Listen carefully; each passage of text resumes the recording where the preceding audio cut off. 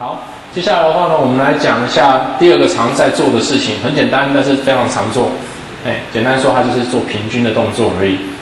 平均，那到底平均什么东西呢？我要，我们先来看一下哈。我们之前有一再的提到说，生理讯号其实很小，很容易受到杂讯的干扰。可是呢，其实这堂课程到目前为止，我们都没有去讲过杂讯会造成什么样子的影响。我们只有说，大不了就提到说，我们针对这个讯号的频谱去设计适当的滤波器，OK，把那些杂讯给滤掉这样子而已。可是问题呢，我们之前讲的这个适当的频率，其实换句话说，就是把那个有讯号的地方保留下来，没有讯号的拿掉，因为没有讯号的只会有杂讯而已。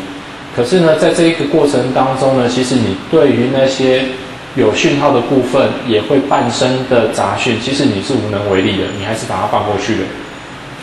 OK，那对于我们来说，其实要怎么样把这些呃杂讯给尽量的抑制，也是一个很大的问题。如果当然今天在这样子做完之后，你就已经有足够的 SMR 的话，那没问题啊，你就可以做后续的分析了。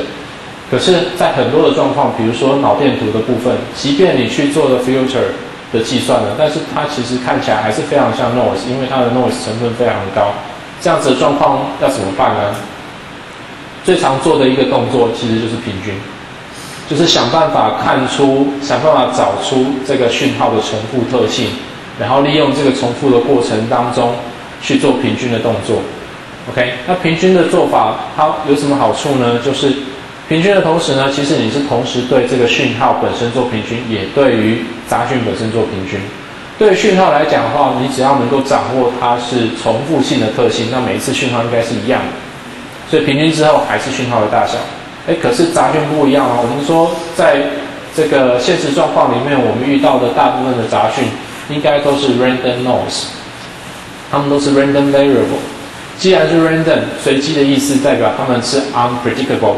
没有办法预测的，每一次都不一样，强度不一样，大小不一样，正负不一样，所以每一次不一样的状况之下，你加的越多次，代表它的期望值就会越接近零。OK，因为我们绝大部分的杂讯都被当成是 Gaussian noise with a zero mean。OK，好，为什么什么是 Gaussian noise？各位知道吗？呃，我应该这样子讲，random noise 大家知道是什么意思吗？对不对？就像我刚刚说的，random 的意思代表就是它其实是随机的，所以我们可以用一个 random variable 去近似它，或者是用一个几率的模型去解释它这样子。OK，但是我们没有办法预测在某一个特定的时间、某一个特定的地点出现的杂讯是什么，这就是 random 的特性。可是我们在讲 noise，除了讲 random noise 之外，其实你应该还会听到一些不一样的名词，比如说 white noise。比如说 Gaussian noise，各位知道这些杂讯所代表的意思是什么吗？请问一下，什么叫 white noise？来，后面那位同学，不知道，好，直接放弃。来，你的后面，高频杂讯，有没有其他答案？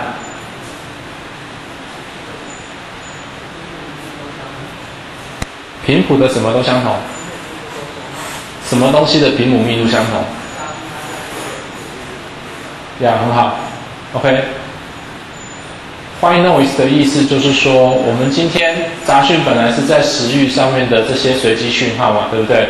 我们可以试着去把它换算成它在频谱上面各个频谱上面的强度分析。如果在每一个频谱上面它所出现的几率是一样的。强度是一样的，我们就把这个 noise 叫做 white noise。为什么叫做坏呢？它是取自于在光学里面，我们的白光其实是由各种不同频率的光所混合出来的，等成分混合起来的，我们把它叫白光。也就是说，它并不会特地强调它在某一个地方出某一个，它具有某一个特定的频率，它的它连在频率里面都是随机的。OK，哦，这个同学回答很好，所以这道 white noise。那什么叫 Gaussian noise？我们刚刚是说频谱，哎，sorry，杂讯没有办法被预测，因为它是一个 random variable。但是对于每一个 random variable，我们都可以用几率的模型去近似它，去解释它。所谓几率模型，就是我不知道你到底会出现什么，但是我可以告诉你出现的几率是多少，这就是几率嘛。我不知道你接下来甩出来是多少，但是我知道点数一到六的话，几率分别是六分之一。这个东西叫做 uniform distribution 的一个 probability distribution，因为每一个地方的几率，每一面的几率都是一样的。Gaussian 的意思就是说呢，今天它的几率分布函数看起来的波形，它长得就像是一个 Gaussian function，一个高斯分布曲线。高斯分布曲线就是一个中型的曲线。我们可以用标准差来描述这个中型到底是宽的还是窄的。OK，所以这个 Gaussian 它描述的其实是几率函数。OK，它描述的是几率密度函数 （probability density function）。好，是怎么样子的？OK，但是它还是有 random 的特性，哦，所以这些东西都不太一样哈。总之，这个是是勾选和是不是 white，这是两回事情哈。好，Anyway，但是通常来讲，我们都会在那个生理呃讯号处理里面所遇到的杂讯，我们都会把它当成是一个 white noise，也会把它当成是一个 Gaussian noise。那既然是一个 Gaussian noise with zero mean 的话，那代表就是它是正的和它是负的的几率刚好一半一半。OK，那越靠近零点的出现几率越高，那越远的几率越低。但是问题是正负两边出现的几率是一样的。换句话说，你多平均几次以后，它就会越来越接近它的平均值，它的 standard deviation 就会开始降低。OK，好，这个东西我们就把它叫做平均之后的好处，因为平均之后呢，讯号不改变，杂讯改变，杂讯怎么了？它降低了。好，那我们怎么知道它降低呢？因为一般来说，它没有办法被预测啊。我怎么知道它真的是变小了？好，我们在评估杂讯的时候，我们不是直接拿它真正的值来做评估，因为你根本不知道真正的值是多少。我们是用标准差来做评估，几率出现的标准差来做评估。好，那在平均之后，我们知道分子的部分不变，signal to noise ratio 就是讯号除以杂讯的强度嘛。所以讯号不变啊，这个维持一样，但是分母的部分，也就是你的杂讯的标准差，它会根据你的平均次数而去减低它的这个标准差的强度。哦，所以如果放在分母的话，刚好导数过来，它会跟根号 n 成正比。换句话说，你平均四次以后，你的 SMR 大概会好两倍；平均九次以后，大概会好三倍。变成原本的三倍，roughly 大概是这个样子。好，所以这个其实还蛮算，它其实就是有点像是以时间换取 SNR，以更多的取样时间、更多的取样的次数，经过平均之后，你可以有更好的 SNR，它是一个 trade off 这样子之间的关系。OK。好，但是呢，在使用这一招之前呢，你必须要注意一下，有很重要的前提，就是我们刚刚说的，你要确定在重复的时候，讯号本身的强度需要一样，啊，不然的话，你加起来，如果分子东西都不一样的话，你也不知道你在评估什么东西嘛，对不对？所以你必须要确定这件事情，你才能够做平均。好，所以我们来介绍几个可能可以使用的场合，总共有三个，我们来看一下，第一个。好久不见，也没有很久了，两堂课之前才刚见过面而已。我们说左边这个是一个血压波嘛，小孩子身上所量测到血压波。你看到每一个血压波，其实看起来好像都还是有一些一些杂讯啊。如果你单独的拿某一个血压波出来的话，看起来好像都有一点点杂讯的成分在里面。那到底血压波的比较完整的形状是什么呢？哦，在这个地方呢，你看，他就把每一个周期的血压波把它截取出来。怎么截取呢？你其实可以简单的去观察这个讯号有剧烈的变化的地方，哦，用那个地方当成那个一个转折点，把它做重复性的这个量测叠取在一起，你就会发现哦，其实它的变化还蛮多的。可是呢，哎，你经过平均之后呢，你得到这个右边的波形，你就会发现，哎，它好像看起来那个刺刺的东西变少了，比较平滑了。OK，这个就是。平均之后的一个效果，你针对一个周期性的讯号去做平均，OK，你得到效果就是这样。那也因为平均之后，你会发现这个讯号血压的讯号，除了它会有增减以外，收缩的时候上升，舒张的时候血压下降之外，其实你会发现在下降的过程当中，有一个会有一个稍微凸起的这个东西。如果你在这边看每一个原始的波形的话，你可能都以为这个小小的凸起是个杂讯，但是你把它整个全部叠起来分析之后，你就会发现哦，原来每一个周期里面都会有这个特征，所以它其实是血压变化里边的一种改变，它其实会有一个在上升、在下降的状况。这主要就是因为那个动脉膜在关闭的时候，造成动脉里面的血压稍微在上升所造成的。我们说舒张了之后，动脉膜要关起来嘛，不然的话血液会回流。OK，那动脉膜关起来后会造成血压有一点点上升。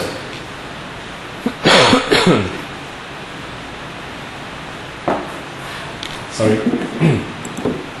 好，那我们再来看另外一个 scenario。这个是什么呢？这是在量测 EEG，还记得吧？脑电图嘛，对不对？那我们说脑电图的话，因为它的讯号非常非常的小，大概就只有几十个到几百个 microvolts 而已，所以讯杂比非常非常的差。哦，那甚至呢，我在做同样的实验的时候，你可能看到完全不一样的结果。哎，我们来看一下他到底在做什么实验。他在做一个叫做 auditory evoke response，这是什么呢？它就是给你一些些听觉的刺激。简单讲，给你听声音，然后去看你的听觉区，大脑皮质的听觉区，它有没有什么样子的反应？他想要看你今天刺激之后，听觉区的反应是怎么样子的。哦，所以这个实验很简单的，其实可以可以就可以做进行了，就让你听一样声音，然后听完以后，就他就去记录脑波的变化。好了，那不同次的记录你会发现什么？哇，它怎么差那么多？每一次都差很多，因为我们知道脑波讯号很小。那像这种 auditory evoke 呃的这种 response 的话，其实强度会非常非常的小，OK，大概就只有几十个 microvolt 这种长度而已。那它非常容易受到周边的这些杂讯的影响，所以他做了一件什么事情呢？反正他就去，这个实验很简单嘛，对不对？一次实验一秒钟就结束了，对不对？你可以看一下，横轴的宽度十个 millisecond 而已，因为我们从听到声音。到脑端这个大脑里面有电信的讯号反应，其实这段时间大概只有几十个 millisecond 到几百 millisecond 而已，所以你只要间隔，比如说零点五秒或一秒，你就可以重复下一次实验。所以一次实验需要的时间很短嘛，那我就多做几次嘛，两次、三次、四次不够，做个十次，做个五十次也都还好，五十次也才一分钟而已啊，还不到，对不对？但是你做了五十次 roughly 就可以让你的 SMR 上升大概七倍了，OK，所以做了很多次以后，多少次呢？他是做了一千次以后，你就得到这样子的结果，你才可以看到说，哦，的确，它其实在很快的时间之内，大概三四个 millisecond 以后，你马上大脑皮质里面就会有一个 activation 的行为出现，然后呢，这个行为大概只有在十个 millisecond 之后就消失了，OK。你必须要这样做才能够观察这么微小的变化，因为这是重复了一千次之后的结果。OK，就譬如说什么呢？哎，比如说我们在做 EEG 的时候，这个例子也是 EEG 哈。那我们在 EEG 里面，我们常说我们会做频谱分析，去分辨那个阿尔法、贝塔、伽马、德尔塔这些波形嘛，应该是没有伽马，是西塔跟德尔塔。我们去分析这些不同频谱所对应的成分多寡，来判断你大脑的现在目前的情况嘛，对不对？紧张的一个状况，或者是想睡的一个状况等等的。好了，那一般来说我们怎么做呢？来，左边这一个是一个 EEG 的一个呃记录哈，它其实呃大概截取的点数大概是一零二四点，取样频率是十六 k 赫兹。对，十六 k 赫兹的话就是一个 millisecond。就有十六点，OK，所以一零二四点的话，呃，稍微除一下，大概会是六十四个 millisecond 而已，哦，所以这段时间其实很短了，六十四个 millisecond 就结束了，哦，它其实就是记录下来，哎，这个在六十四 millisecond 里面讯号变化大概是这样子的。好了，那既然要分析频谱嘛，那我们就刚刚学的，马上派上用场，discrete Fourier transform。哎，所以右上角呢，直接就是把这一一千零二十四点的讯号时间的讯号呢，去做了频谱以后计算出来的结果，你看到是这个样子。左边这个地方看起来很 noisy，右边这个地方看起来还是很 noisy 一样，上上下下的频那个干扰非常严重嘛，对不对？所以我们现在可以做什么事情呢？那就想说，好，那因为这一段时间真的很短，那么高的取样频率，所以这段时间只有六十几个 millisecond。大脑的行为，如果说今天它是在侦测一个普通的状况，没有什么特别的刺激，不像刚刚是有一个听觉刺激的话，那在 suppose 在这六十四个 millisecond 里面，你的大脑状况应该是一样的嘛，对不对？它应该处在一样的状况。换句话说呢，它的这些阿尔法波、贝塔波的成分大小应该是保持一样的。所以呢，它做了一件事情，就是好，我把它切成十六等份。我把这一千零二十四点切成十六等份，每一就是每一个等份呢就有六十四个点，OK，十六乘以六十四等于一零二四嘛，对不对？我把它切成十六等份，切成十六等份以后呢，因为我觉得这一个等份每一个等份其实占的时间只有一呃一个 millisecond，四个 millisecond 而已，很短嘛，对不对？所以我假设它的是那个讯号的成分是不变的，所以我就把它加起来做平均。好，右下角这张图代表意思是什么呢？它就是把这十六段的讯号平均之后，再去做 Fourier transform 的结果。你可以看到什么？看起来干净很多嘛，没有那一种上上下下这种很很多的随机式的起伏。好，然后大致上呢，频谱的变化，哎，你好像还看得出来这样子。你可以知道说，哎，主要都是集中在这个部分，等等的。啊，这个是 normalize 过后的这个频谱，所以你其实可以去自己去计算它所相对应的频率大概在多少，因为 sample frequency 已经告诉你了，roughly 大概是这个样子。哎，所以好处是什么？优点是什么？很明显嘛，因为你平均的十六次，所以根据刚刚的 SNR 的那个公式来说，你的讯杂比其实好的变成是原本的四倍，所以看得出来的确比较平滑的。可是你也知道我接下来问的问题是什么了？请问一下你的代价呢？在工程上面有好处一定有代价，没有什么没有做什么事情是只有好的没有坏的，对不对？那你的代价是什么？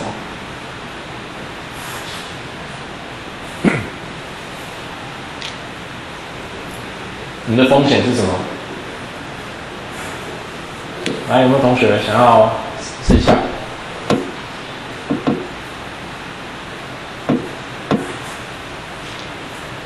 来，那一位穿蓝色夹克的同学，好不好？你觉得嘞？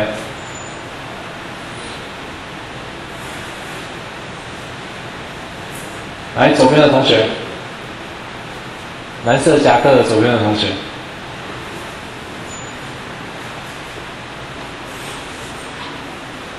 我们稍微提示一下，好不好？你今天把它切成十六段嘛，对不对？换句话说，每一段的长度变短。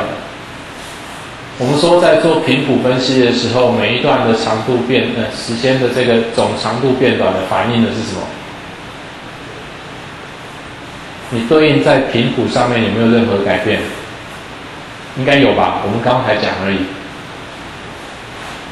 本来这一段长度是我刚刚说的是六十四 millisecond 嘛，那你切成十六等份，现在变成一段的长度只有四个 millisecond 嘛，对不对？所以换句话说，你在 spectrum 上面的频谱解析度变低了嘛？变成原本的十六分之一啊。所以你可以看到上面那张图，右上角那张图，其实它的每一个点间隔都非常的细嘛。看起来好像是连续的，但是它其实是很多点连起来的结果，而且它变动非常的快速。但是在下面那张图，你可以看到那个转折点的位置其实是比较疏一点的。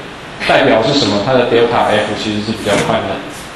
为什么？因为它每六十四点就变成一组资料，也就是在一样的频谱宽度里面，它把它平分成六十四等份嘛。你也可以这样子想。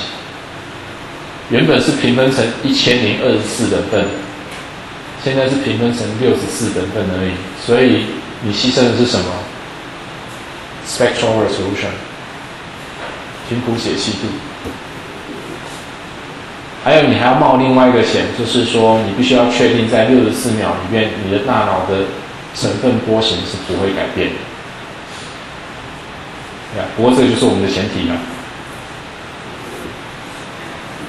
可以吗？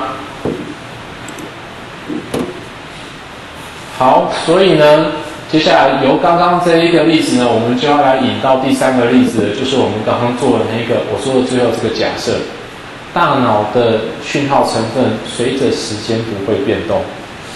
如果今天的时间真的在很短的时间内，像我刚刚的 example 的话，全部的时间间隔只有六十四 millisecond 嘛，那已经够短了，所以我可以做这个假设。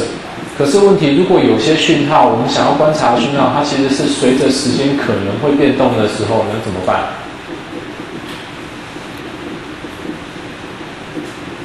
它就会变成是它的频谱资讯，其实也是一个时变的函数。每一个时间所反映出来的频谱可能也会改变。OK，那我要怎么样子做 Fourier 送？怎样子做时频之间的计算，才能够反映这个频谱的变化呢？OK，这就是接下来我们要讲的 Time Frequency Analysis。哦，也就是说，我不是单纯只有对某一段讯号去做频谱分析而已，我还会随着不同时间。各自去对它做一个 Fourier transform，OK，现在这一秒做 Fourier transform，接下来下一秒再做 Fourier transform，再在下一秒再做频谱分析，哎，我就可以看到频谱随着时间的改变。OK，这个其实就是 time frequency analysis 的最基本的概念。我想要看到频谱随着时间的变动。OK，那既然我想要看到随着时间的变动，那我就必须要去把全部的讯号做一些分段的动作嘛，因为我要一段一段一段的去做分析。OK，所以我们来看一下主先套。随便画一下哈，假设这个是我们随时间改变的这个讯号。OK，那呃，如果说这个讯号随着时间可能会改变它的频谱特性的话，那我们是不是我们原本是把整段讯号都拿去做 Fourier transform 嘛，对不对？这一整段都拿去做 Fourier transform。可是这样子的意思代表，就是我现在分析出来的频谱成分是包含了这整个所有的时间的 duration OK，里边所有的频谱的成分是怎么样子？我没有办法对时间的不同的时间点去做分析，所以 time frequency analysis 的概念就是说，哎，我可不可以把它切断、切断、切断、切断，一小段一小段去做 retransform 那当然我会有 trade off，我们刚刚说的。今天取样时间不变的状况之下，你把每一个取样点减点数减少了嘛，对不对？减数减少的意思代表你牺牲的就是频谱上的解析度，你看不清楚那个频谱的细致改变。可是呢，你要你得到的是什么？你得到的是频谱在时间上变化的资讯。哦，那至于这个宽度要怎么选取就很重要，因为它代表的就是至少它。在这一段时间之内，你认为它的频谱特性是没有改变的，但是又不能太短，因为太短的话，你你的频谱解析度就太糟太糟了，糟到你可能没有办法去辨识出你要的成分出来。OK，所以它在长和短之间都有一个 trade off，看你今天想要的频谱特性是什么，你的讯号的特性是什么，来去决定最好的分析宽度。那对于我们的讯号处理来讲呢，更有弹性一点，就是说，哎，我第一段是选取这个地方，对不对？在切断的概念里面，就像上个 example 里面，我好像就是每一个段落，它们其实之间不会重叠嘛。我被第一段用到，就不会被第二段用到；我被第二段用到，就不会被第三用到。但是实际上面，你在做这些频谱的计算的时候，没有人说不能够重复啊。什么意思呢？我第一段是这样子，我可不可以第二段的时候摆这样就好了？第三段的时候我摆这样子，这样做的好处是什么？它没有办法帮你增加 spectral resolution，但是问题呢，它可以让你知道在不同时间点的时候，不同时间的区间的时候，它的频谱的变化的状况是什么样子的。它可以让你在 time frequency analysis 里边的 time 那个轴 temporal axis 时间的那个轴有更好的解析度。原本这样子的切法里面，你只有五段可以用而已。在这样子 overlay 的切法里面，其实说老实话，你要几段都可以。只是通常来说啦，我们也不会切到超级多段因为超级多段意思就是你一直只有移动一点点。那移动距离太短的话，你频谱特性如果都不会改变，那你移动这么一点点又有什么意思呢？对不对？你只是徒增自己的记忆体，去把它那个计算过后的结果记录下来而已啊，意义不大。OK，那当然你移的太大的话呢，那那代表就是说你在时间上的解析度可能就比较没有那么好，没有办法去快速的掌握频谱上面的变动。哦，那 trade off 就在这个地方而已。那 in general 呢，最完整的表示是我们可以用那个投影片上面这一个式子来表示哈。我们给它一个名字叫 short time fraction form。哦，为什么叫做 short time fraction s p o n e 呢？第一个，它的式子非常像 fraction form 哦，所以一定会留这个字，因为我们要做的就是频谱分析嘛，对不对？它跟 fraction form 只有差在什么地方呢？差在这个而已。这个是什么？就是我们今天用 function 来去描述我截取哪一段的讯号。所以呢，它乘上一个 g of t 减 a，OK，那个 a 代表就是这个 function 的 shift。哎，这段代表就是 a。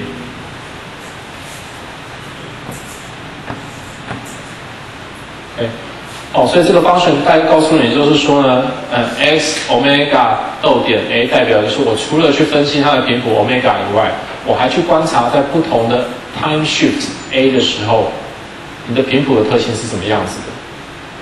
至于我观察的范围是多大，哎，我就用这个 window function 来定义嘛。哦，最简单的做法，这个 window function 就可以是一个 rectangular function 方波。OK，但是实际上，你如果今天真的是一个 rectangular function 的时候，也会有一点点小小的问题。什么意思呢？因为 rectangular function 我们之前有讲过嘛，它其实就是它的 Fourier transform 是 sinc function，所以你如果是在时间轴上面做相乘的话，你自己看一下就知道，你把原始的讯号跟你的 window function 做相乘的动作的话，等于在频谱上面你是做 convolution，所以你对一个 sinc wave 做 convolution，你会有一些 energy spread spreading out 这样子的一个状况，还会有一些失真的，简单来讲，会会有一些失真的状况。OK，所以通常来讲，我们为了要降低这些 silo 的这些 effect，我们乘上的会是一个，比如说 Gaussian function，或者是一个呃 window function 之类的。OK。哦，不过这个就比较偏向那个讯号处理那个部分，我们就不太多说了。哦，那最简单的概念，各位可以记得，就是一个 rectangular function，就是这样子。那我们可以去调整不同的 time shift 来观察这个特性。然后最后你要绘制呃你的结果的时候，我们通常会像使用右下角这种二维的分布图来表示。哦，各位看一下哦，这个二维的分布图的纵轴就是我们的频率。单位就是频率，也就是说，沿着频率的成分是多少，各个频率的成分是多少。横轴我们就保留给时间，这个时间的间隔就是由我们刚刚的 time shift a 来决定。哎看你今天到底要多久的时间来做一次分析，那你就把各自分析的结果填在这个上面。可是你也知道了。频谱的特性计算出来的结果就是大写的这个 s，它出来是一个 scalar，是一个纯量的数值嘛，对不对？是一个大小。OK，那大小怎么样子用有限的这个每一格来表示它呢？我现在只留给它一格诶。原本的图形里面，原本在描述那个 fraction form 之后的频谱里面的话，横轴是频谱，纵轴是它的强度嘛，对不对？现在纵轴是频谱，横轴是时间，那那强度的轴在什么地方？如果真的要的话，你可以画成是一个三 D 的图形，也就是强度的轴可能是在穿出投影布幕这个方向，或者是更方便的做法，我们可以用不同的灰阶亮度来显示它。我们把强度跟灰阶的亮度搭在一起，比如说很强的时候，我用灰，用白色。很弱的时候，我用黑色这样子显示方法也可以，或者我甚至可以用 color mapping 的做法。来，我们直接看一个例子，左右这两个呢都是做 time frequency 呃 time frequency analysis 的一个结果，它都是对呃 EC 区去做呃分析的结果。左边是一个正常的 EC 区，OK，所以你看到的这个左上角这个这是正常人的 EC 区，这一个是。呃，心室震颤的人的一个 EC 区，所以看各位直接看讯号就看得出来哈，这个很规律的 PQST 波，这个话呢就是非常快速的这个呃这个心室收缩。好，以左边这个例子来讲呢，它分析完了之后呢，哎它就会成下面这个结果。下面这个结果代表什么意思呢？我们看一下纵轴这个部分呢，对数坐标轴，它代表就是频谱成分。十的零次方代表就是以赫兹，十的一次方代表的是。十赫兹，然后一百赫兹的分布范围是什么样子？最下面就是零赫兹低基频的地方，DC turn 的部分。然后呢，因为这个地方它没有另外一个轴来显示它的强度了，对不对？它所以它就是用 color mapping 颜色的映照的方式来表示频谱成分的强弱。其中呢，通常来讲，暖色系会对应到比较强的强度，冷色系会对应到比较弱的强度。什么是暖色系呢？红色、橘色、黄色，这就是暖色系。冷色系就是绿色、蓝色、天蓝色，就是冷热系。所以这个例子来讲，通常来讲，红色对应的就是最最大的数值，再就是橘色，OK，再就是那个黄色，还有绿色、天蓝色到深蓝色这样子，OK，哦，那横轴的部分呢，就代表它分析的那个 time shift 是在什么地方，哦，所以横轴这个部分其实它对应的也是时间，哦，跟上面的这个横轴是完全一模一样的。OK，那中间可能它做一些内插的动作，所以看让你看起来这个讯号的变化是非常平滑的。哦，那我们可以简单来看一下这一个图所反映的特性是什么哈？你可以看到从头到尾它们的频率 roughly 大概都在这个地方。哦，最大强度其实在这个地方，因为它是红色的部分非常的红。哦，所以其实呢，这个代表就是这一个心电图 PQST 波其实是很稳定的，而且它有固定的频率。啊，它的频率的主要强度是落在，比如说，呃，在这个例子里面的话是，呃，每秒钟可能是，呃，一赫兹或是一点多赫兹左右。哦，我们说十的零次方代表是一赫兹嘛，对不对？所以这个地方的强度很大。可是呢，你会发现在高频的部分，其实它会随着时间变动。OK，在这个地方呢，高频的地方突然暴增多出了起来，这个地方也是，这个地方也是。这是什么时间点呢？来对一下。刚好是 R wave 出现的时间点，R wave 出现的时间点。为什么？因为在这一个时间点的时候，我就是根据这边的心电图的波形去做 short time 的 Fourier transform，获得这一条的频谱嘛，对不对？所以换句话说，在 R wave 的地方，因为讯号变化非常的迅速，代表非常高的高频成分，哦，所以你在这个短时的这个呃傅列分析里面。频谱分析里面，你就会高看到高频的成分里面跑出来，所以这是 QRST 的部分。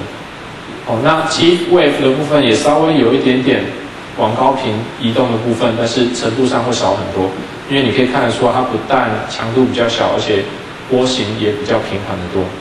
所以虽然有，但是没有那么明显，只有在 R wave 的时候是最明显的。好，那我们再看到 ventricular fibrillation 这个例子哈，横轴一样是时间，纵轴的话呢是它的强度哈。那一样它用的也是类似像那个对数的坐标轴。那你可以看到从头到尾，它其实最强的强度其实是分布在这个位置，这个 range，大概是五到十赫兹的这个 range。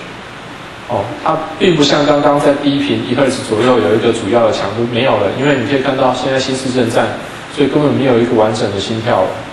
哦，全部都是非常 random，然后非常快速的这个心室收缩的这个波形，OK，所以你就会看到这个对应的结果，所以它在高频的成分里面多了非常多，比刚刚稳定的 P plus T 会多了很多。哦，我们可以用这样子去分析各个频谱随着时间的变动，OK，你就可以知道你现在这一个观察的频谱特性为何。OK，可以吗？好。但是呢，short-term Fourier transform 呢，自然会遇到一个问题，就是说，呃，我们刚刚说的这一个 window function 的选取，还有这个 time shift 的选取嘛。其中 window function 的选取来讲的话，我们刚刚讲到的条件是，我当然不会希望太长，因为太长的话，它可能讯号会发生改变。可是呢，我如果今天把它做缩短的时候呢，我们除了 spectral resolution 会有所牺牲之外，我还必须面临到另外一个问题，就是我能够观察到的最小的这个频率的波，其实是有限制的。因为呢，pixel 哎那个 spectral resolution 降低的状况之下，代表那个 delta f 变大了，对不对？所以代表它最小的那一个频率成分其实是变大。也就是说，换另外一个方式讲，在时域上面来说，如果你今天一个波长，的这个正弦波，就是你要这个特征的正弦波，它的波长如果比你选的 window function 还要长的时候，其实在你的计算里面你是算不出来的。你没有办法在 short time Fourier transform 里面把这个 component 给计算出来。为什么？因为你的 window function 一定要比这个周期还要长，你才有可能记录下来，你才有可能把它留下来。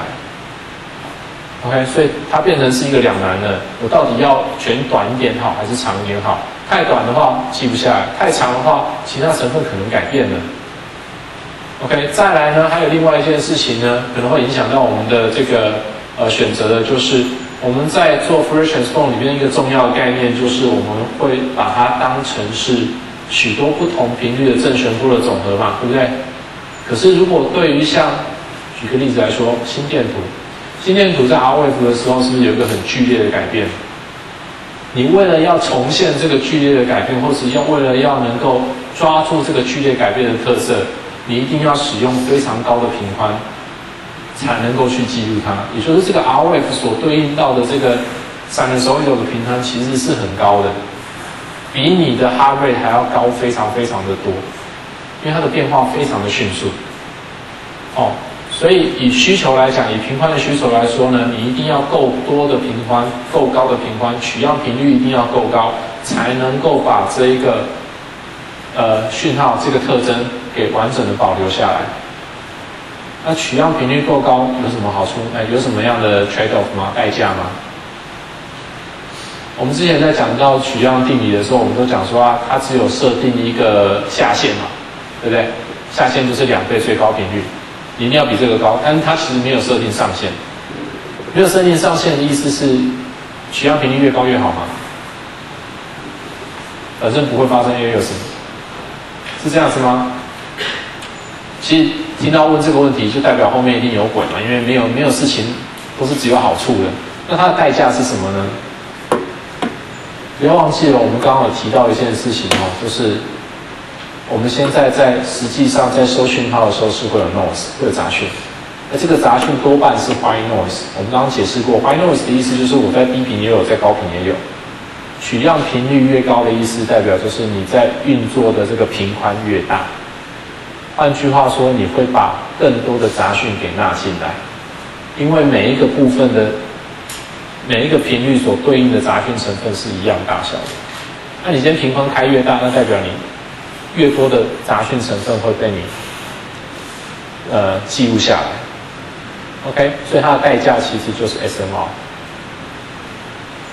此外呢，别忘记了，一样的，如果是一样的 window function，你的取样频率取越高的时候，点数一定越高嘛，对不对？所以代表着事后你要记忆体一定会越多，计算量一定会越多，这是一定的，这个也是代价。OK，所以呢，很快的，我们我们会发现，其实很多的生理讯号都有像 R wave 这样子的特征，变化非常迅速，包含在 EMG 里边也有，在 EEG 里边也有。OK，因为毕竟人体的生理讯号并不是我们并不是那个正弦波的系统啊，我们不是 function generator 啊，我们不会产生正那个正弦波啊，所以常常会有这样子的一个问题。所以为了要解决这些问题呢，当然就有一些 solution 出来，其中一个办法呢，就是。有新的频谱分析被提出来了，我们把它叫做 wavelet transform。这一个东西或许你们各位有听过，或许没有听过。就算有听过，你可能也不太知道是什么。那我们今天也不打算真的仔细的去讲它，但是我们会稍微叙述一下。OK，wave-like 呢，如果翻成中文的话呢，呃，比较常见的翻译是小波转换。哦，之前那个是傅立叶转换嘛，这个是小波转换。那总之，我还是使用 wave-like transform 来说明了哈。它跟 Fourier transform 其实是一样的概念，非常类似的概念。他们都是想要做出时域跟频率之间的分析。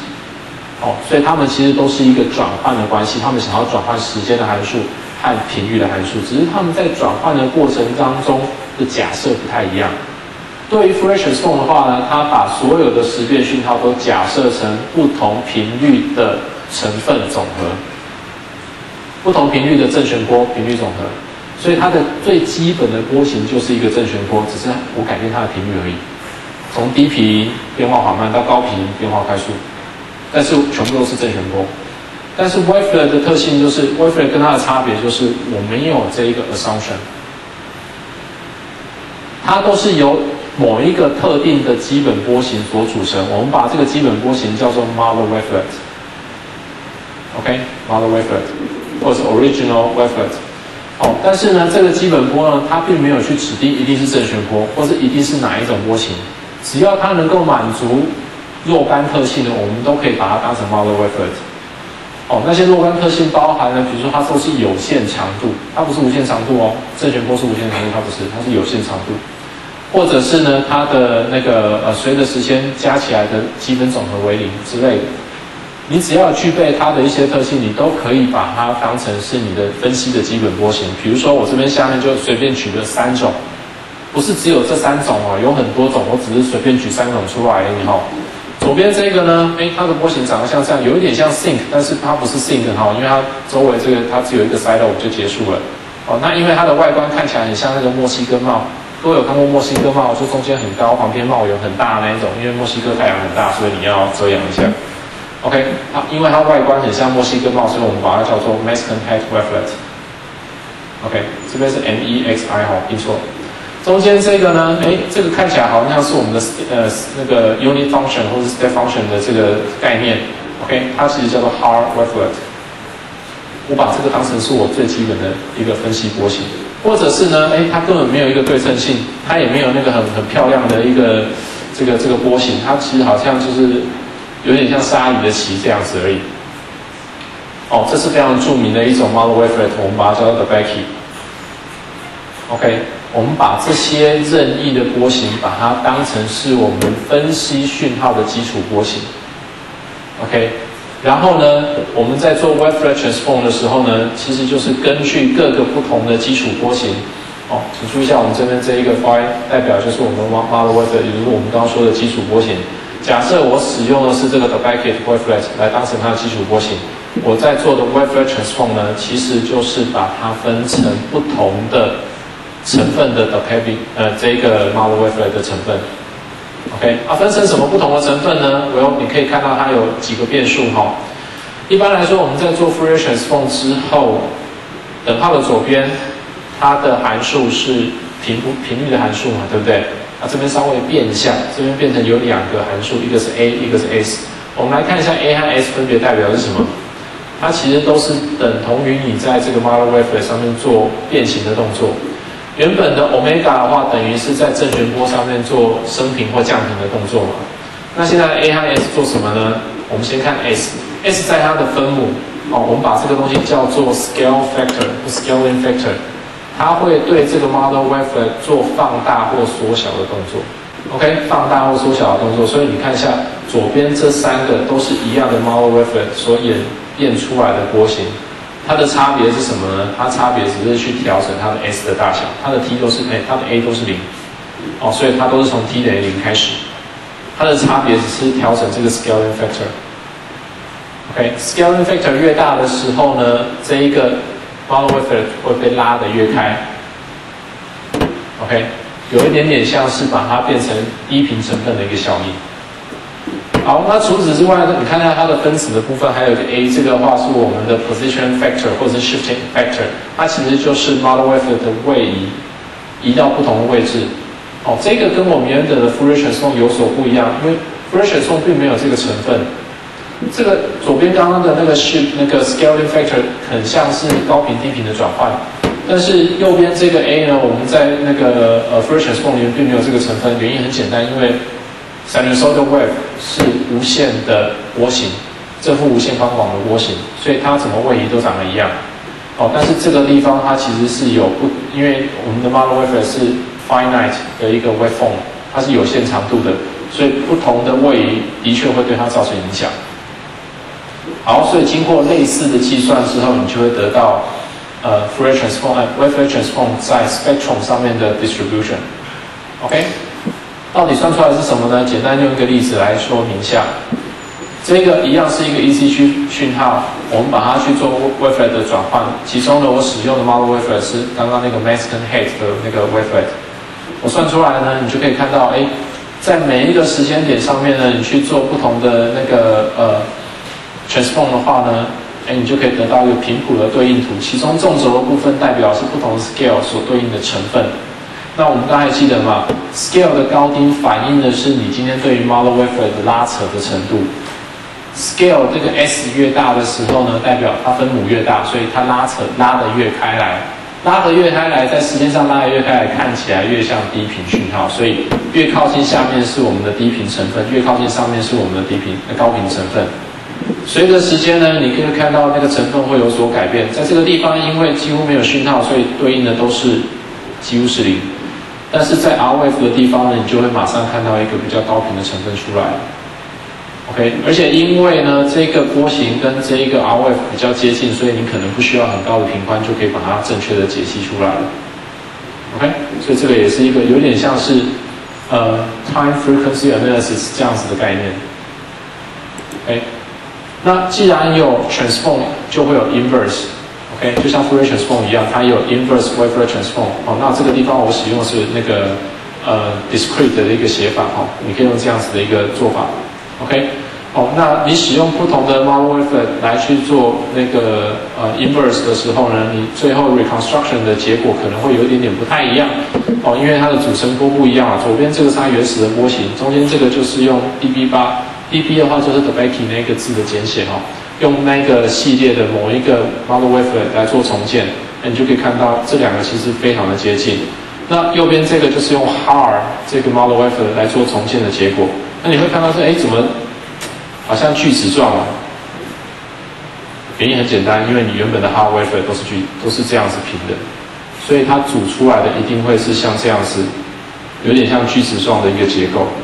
哦，所以这个地方告诉你的是，你用不同的 model wave 都可以重建为原始的影像，呃，原始的这个讯号。但是呢，你可以根据不同的 model wave、不同的讯号去选择最适合的 model wave。比如说，你今天是要分析 ECG 的话，很明显 d b a k y 会比 HAR 会好很多。可是如果今天你要分析的是一个数位讯号的话，诶，那可能 HAR 会比 d b a k y 要好很多。因为数位讯号就是在零和一，或者是在不同的 quantization level 上面做变化而已嘛。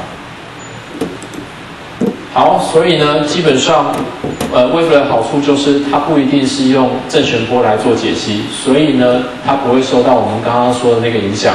你也可以去调整这个 model wave 的波形以及它的长度，来去截取最佳的特征。OK，好，所以它非常适合站态的这种讯号变化。OK，所以我们也常常把这个呃 WiFi 的那个 transform 应用在各种滤波啦，或者是抗噪啦，或者是讯号压缩，还有资讯截取上面。那讲了它的很多的好处，到底它是不是真的比较好呢？其实各位会知道，有好就有坏。哦，所以换句话说，其实是要选择你到底适合哪一个东西，根据你今天想要的应用，去选择最适合的一个数位讯号处理方法。